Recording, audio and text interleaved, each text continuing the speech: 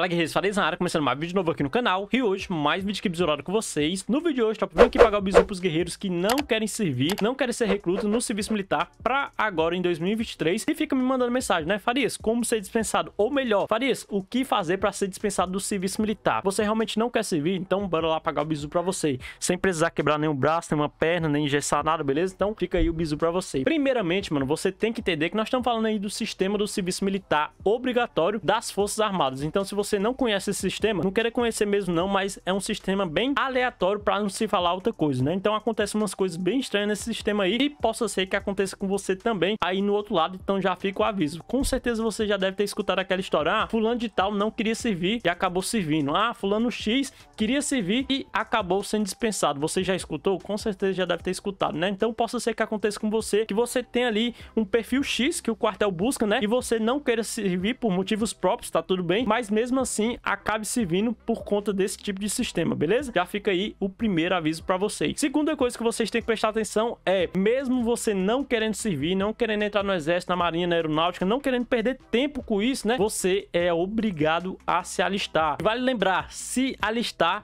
não é servir, beleza? Se alistar é uma coisa, servir é outros 500. Se você servir, você tá lá fardado, tá recebendo tudo mais. Se alistar não, o alistamento é obrigatório. Então, você que vai se alistar, você que tá completando 18 anos e vai se alistar, o alistamento nada mais é do que você se cadastrar no banco de dados do sistema do serviço militar. Pronto, é só isso. Dá para você fazer no online, no site, né? Ou até mesmo na junta militar. Outro bizu aí para você que não quer servir. Quando você for se alistar no site ou na junta militar, nesse primeiro momento, não é o momento que você vai falar, ah, eu não quero servir e pronto, acabou. Não, não é assim que funciona. Poderia ter, né? Eu sempre falei isso aí, poderia ter lá no sistema lá do serviço militar, no site, quando você se cadastrar tudo lá no finalzinho. Você quer servir sim ou não. Se você não quiser servir, coloca lá não, vai receber o seu CDI e pronto, vai tocar sua vida, nunca mais vai querer saber de sistema de serviço militar, não vai perder tempo com nada, não vai ter dor de cabeça. Poderia ter, né? Mas infelizmente não tem e não é assim que funciona. Então você vai ter que se alistar. Depois que você se alistar, você vai acompanhar o site e o sistema do site vai te mandar uma mensagem lá dizendo data, hora, local para você se apresentar pela primeira vez no quartel, mesmo você não querendo servir, beleza? E quando você for se apresentar no quartel,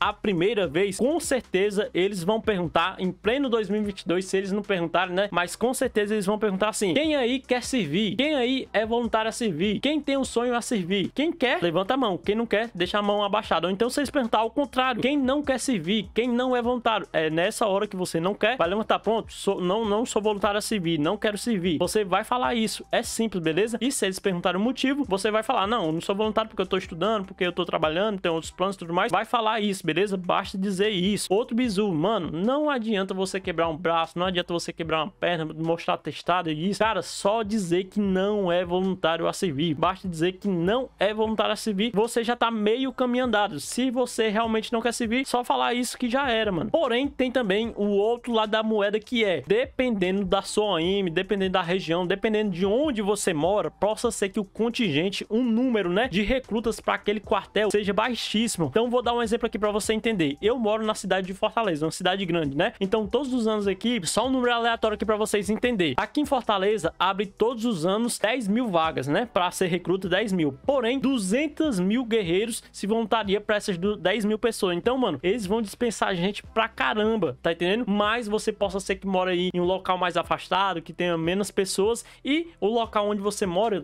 tenha, sei lá, 100 vagas, né? E apenas 500 pessoas se, se voluntaria e você tá dentro ali dos voluntários, tá entendendo? E aí eles vão filtrar, vão fazer toda a peneirada para poder colocar os camaradas que ele busca o perfil, né? Que é ali tem alguma profissão, que tem a saúde de dias e tudo mais. Enfim, tem outros vídeos aqui no canal falando mais sobre isso, beleza? Então, mesmo você não querendo servir, você tem o perfil que o quartel busca e comparado a outros voluntários que querem servir, você é melhor do que eles e acaba ficando no quartel também. É assim que funciona. Porém, cara, se você não quer servir, esse é o bisu máximo. Dizer que não é voluntário a servir, que não quer servir, beleza? Vocês perguntaram o motivo, fale o motivo e aí já era, cara. Recebeu o CDI, foi lá jurar a bandeira, já era, tá pronto. Lembrando também, rapaziada, quem é reservista, beleza? Ah, vou buscar minha reservista, quero minha reservista. Tem esses papos assim, né? Reservista vem da palavra reserva. Reserva é quem vai servir. Se você quer ser reserva, você vai servir, beleza? Então, se você não quer servir, você tem que ter o CDI, Certificado de Dispensa de Incorporação, certo? Então o vídeo é isso aí, espero que vocês tenham se bisurado, beleza? Qualquer dúvida, deixem nos comentários que eu faço um próximo vídeo pagando bisu pra vocês. Tamo junto, forte abraço, fique com Deus, progresso sempre fui.